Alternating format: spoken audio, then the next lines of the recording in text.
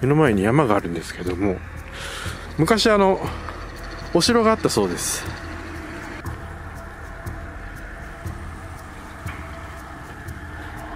で今日ちょっとここ行ってみます。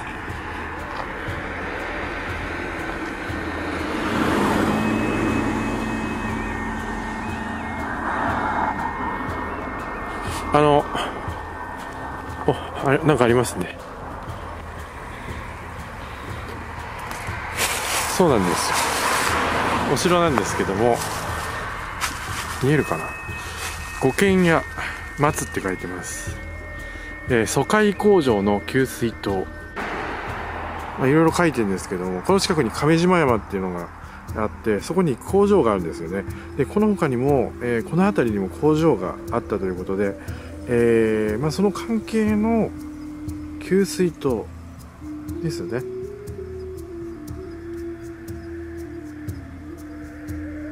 まあ、工作してるとやっぱ水っていうのは必要になるんで、まあ、そういうことなんですけども。えー、っと道跡がないそうで道っていうかそのたどり着く道がないんで結構険しいあれで、えー、見学には十分配慮してくださいって書いています。行ってみます。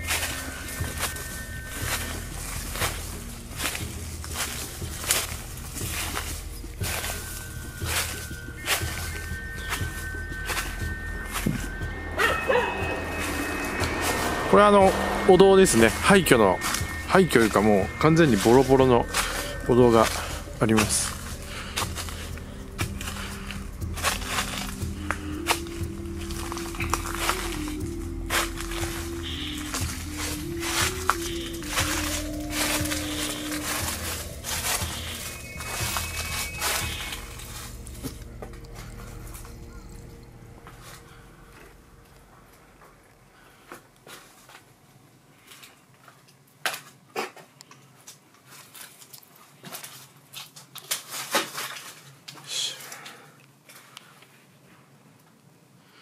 な感じになってます。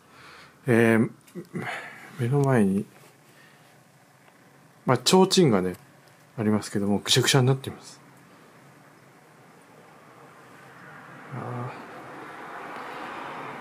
寄付した人の名前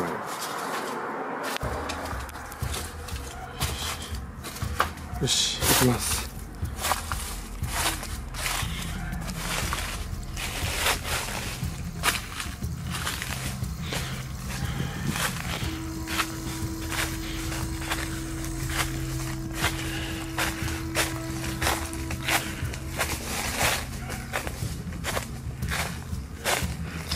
険しいですね。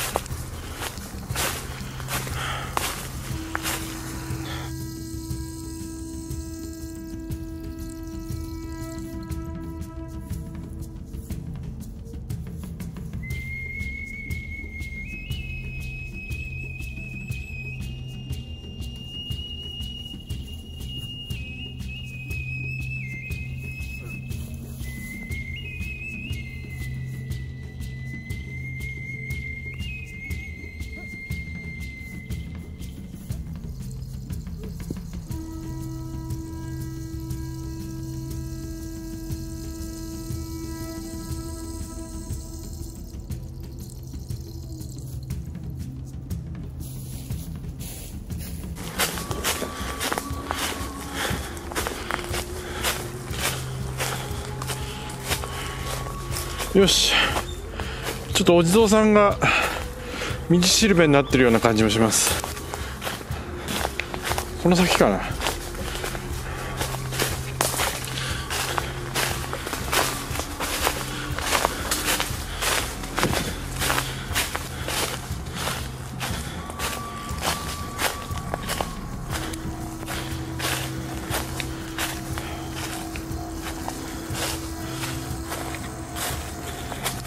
非常に分かりにくいですね。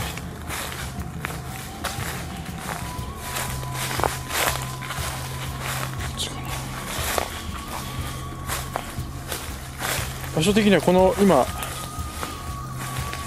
向けてる方向に給水塔があるらしいんですけどちょっと下降りていきましょう。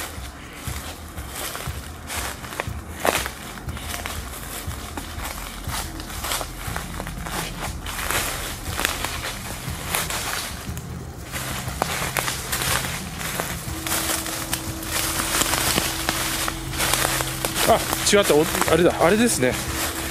お堂かと思いきや。違いました。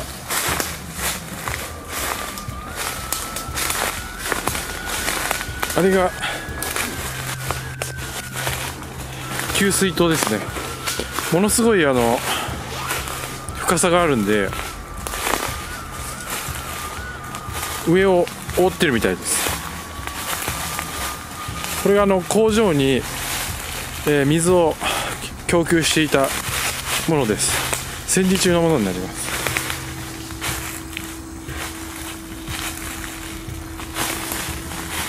お非常にあの足場が悪いのとここから先かなり急斜面なので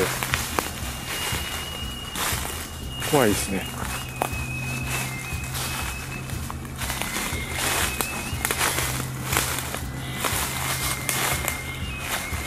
目的地到着しました。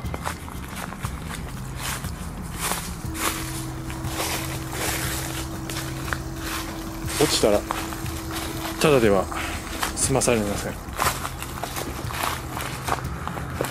んな感じです。レンガレンガ作りですね。これが、えー、日本旧日本軍の軍事施設というかまあねあのー、戦闘機とか、まあ、爆撃機とかを、まあ、製造するにあたって必要だった、まあ、給水塔っていうことです、まあ、軍事ってことになるんですかね。だからこの今山の麓には工場が当時あってでここの工場と亀島山。でもう一つもう何箇所か疎開工場としてあったそうです。歴史的にも重要なものなのかなと思います。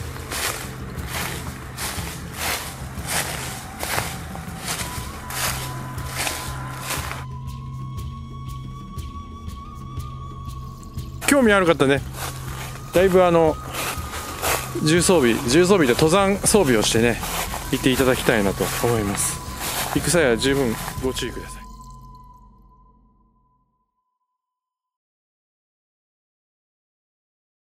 この動画をいいと思ったらグッドボタン。悪いと思ってもグッドボタン。チャンネル登録もよろしく。スピチューブインスタグラム始めました。お得な情報プレゼント企画はこちらから。フォローよろしくお願いします。